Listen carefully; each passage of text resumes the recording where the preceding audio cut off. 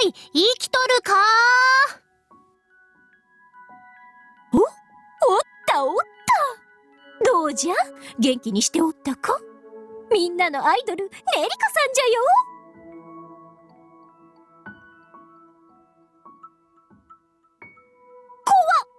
怖っ！な、なんじゃお前さん？機嫌でも悪いのか？そんなドスの効いた反応をされたら、か弱い乙女のねりこさんは怖くて震えてしまうぞい。あ、冗談はこのくらいにしておくかの？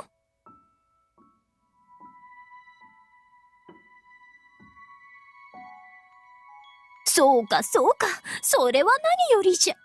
東大森とだけでなく、我との関係も進展してる、ということかの？うん、ああ、特に用事はないんじゃよ。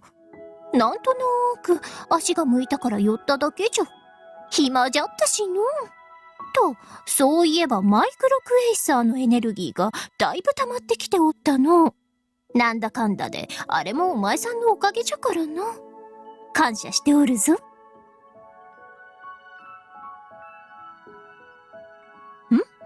シャールからそのあたりの説明は聞いておるじゃろう。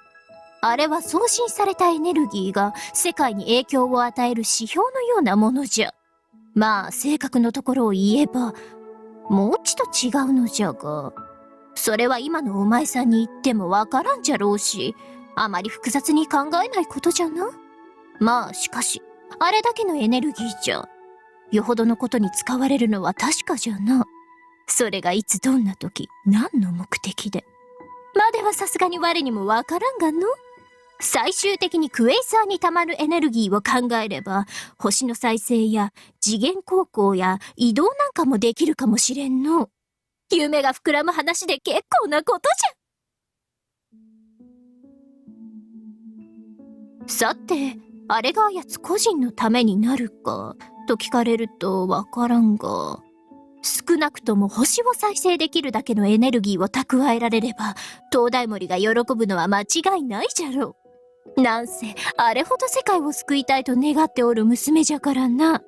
さてと、散歩の続きにでも戻るとするかの？何を言っておる？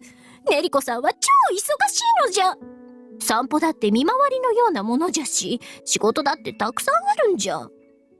忙しい忙しい。忙しすぎて目が回るくらいじゃ。そういうわけで、忙しいネリコさんは退散するとするかの？次に我が来るまでせいぜい達者でいることじゃな。